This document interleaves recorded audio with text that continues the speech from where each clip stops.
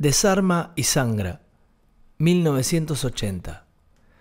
A pesar de la maravilla musical que se despliega en esta canción y de la profundidad poética, la compuso en tiempo real, improvisando en el momento y tomando registro.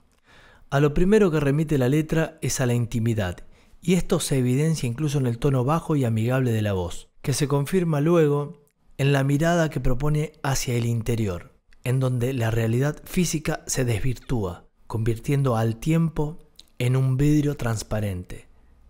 Tu tiempo es un vidrio y a la mente en un plano extenso. Tu mente un tapiz, sin bordes.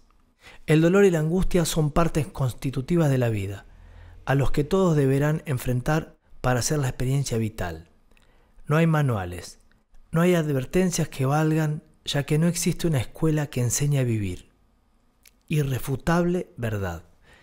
Como un Dios superior, el ángel vigía, regula el mundo y señala los errores al tiempo en que castiga.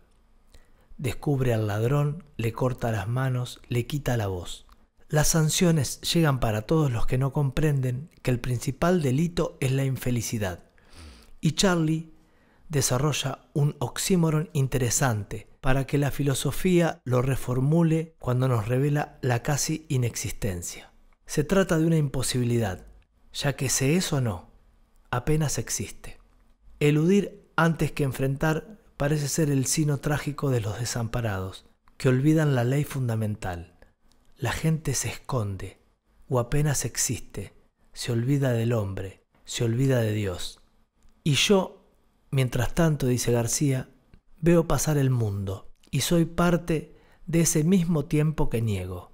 Y en esa dinámica que paradójicamente es vital, pero nos lleva hacia la muerte, y soy un observador del mismo modo en que otros me observan.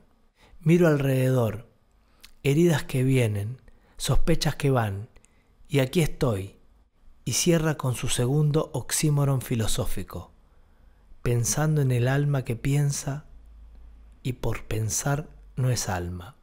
Pensar es un acto humano, actividad innecesaria para el alma.